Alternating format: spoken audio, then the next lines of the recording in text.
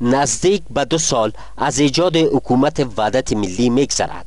اما تا کنون گام های عملی برای تطبیق مواد توافقنامه سیاسی از سوی حکومت برداشته نشده است. این امر سبب شده تا تنش ها میان ارگ ریاست جمهوری و کاخ سفیدار افزایش پیدا کند. در پیوند به این مسئله شام پنج شنبه هفته گذشته رئیس اجرایی و رئیس جمهور در ارگ با هم دیدار کردند. در نخستین دیدار رئیس جمهور و رئیس اجرایی رئیس اجرایی خواستار تشکیل کمیسیون تعدیل قانون اساسی آغاز روند شناسنامه های الکترونیکی و تسریع روند اصلاحات نظام انتخاباتی شده است. رئیس اجرایی همچنان از صلاحیت های اجرایی مشاوران رئیس جمهور شکایت کرده و از رئیس جمهور درخواست کرده است که به صلاحیت های آنان پایان دهد. و روند ایجاد نهادهای موازی مثل ایجاد شوراها را نیز متوقف کند.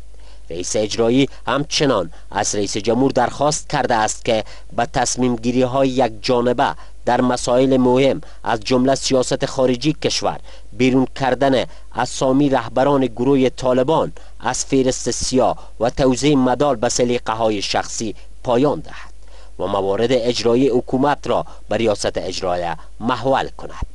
با توجه و تمرکز رهبری رهبران از این حکومت فقط فقط سر مسئله امنیت باید بوده باشه چون اینا مسئولیت داره در قبال اتباع افغانستان مردم افغانستان که بعد تامین امنیت جان مال مردم.